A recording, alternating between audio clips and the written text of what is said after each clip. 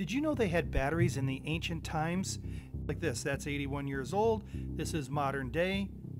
But 2,200 years ago in Baghdad, they found several of these clay pots with bitumen and an iron rod and they didn't think anything of it at first, but then when they explored it further, they realized that what they had here was an ancient battery.